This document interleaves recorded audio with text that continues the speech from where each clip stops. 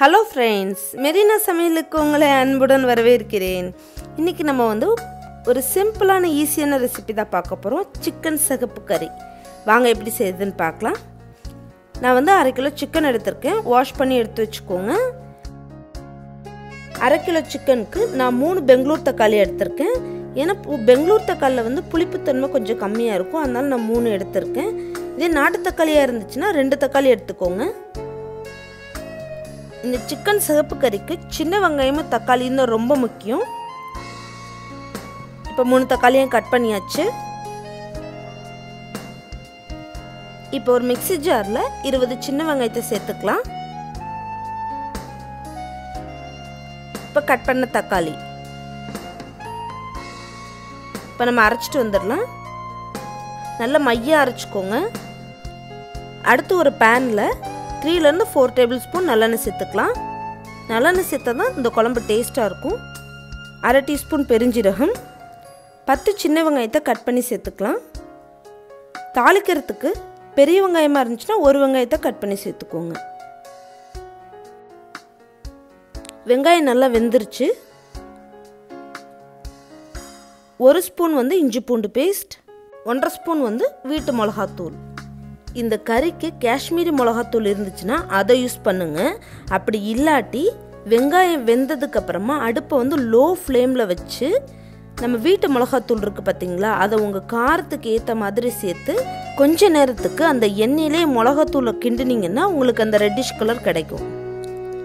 அரைச்சி வச்ச பேஸ்ட்டை சேர்த்துக்கலாம்.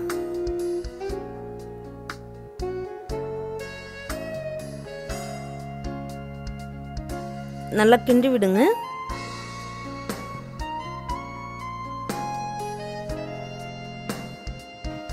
இந்த கறிக்கு தேவையான அளவு உப்பு சேர்த்துக்கலாம்.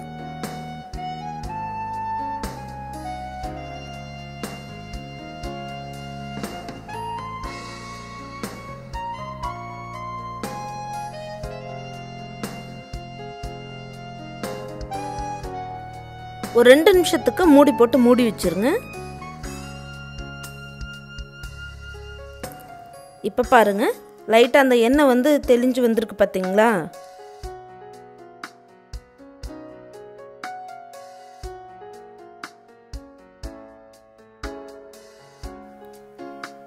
கால் டீஸ்பூன் வந்து பட்டகிராம் பொடி கால் டீஸ்பூன் ஜீரகத்தூள்.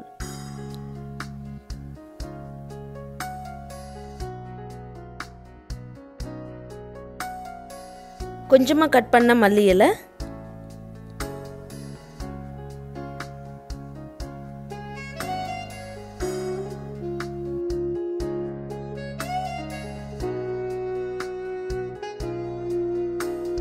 அடுத்து வந்து சிக்கனை சேர்த்துடலாம்.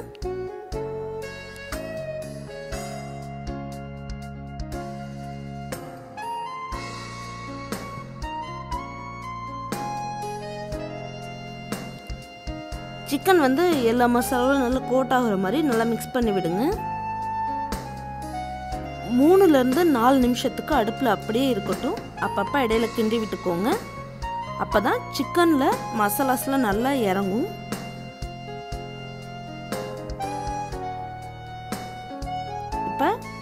ஒரு கப் தண்ணி சேர்த்துக்கலாம்.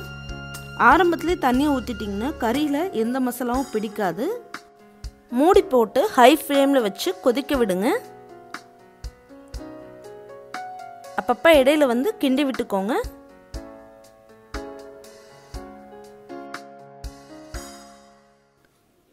இப்போ திறந்து பார்த்துடலாம். சிக்கன் நல்லா வெந்துருச்சு. அந்த கிரேவியில் உள்ள எண்ணெய்லாம் நல்லா தெளிஞ்சு வந்துருச்சு பாருங்கள் சூப்பராக ரெடி ஆயிடுச்சு. படப்பு ஆஃப் பண்ணிடலாம். இந்த சிக்கன் சிகப்பு கறி வந்து எல்லாத்துக்குமே ஒரு அட்டகாசமான சைடிஷாக இருக்கும். ரொம்பவே டேஸ்ட்டாக இருக்கும். ரொம்ப சிம்பிளான ரெசிபி தான். நீங்கள் கண்டிப்பாக வீட்டில் எல்லோரும் ட்ரை பண்ணி பாருங்கள் உங்களுக்கு இந்த சமையல் பிடிச்சா மெரினா சமையலுக்கு சப்ஸ்கிரைப் பண்ணுங்கள் நன்றி.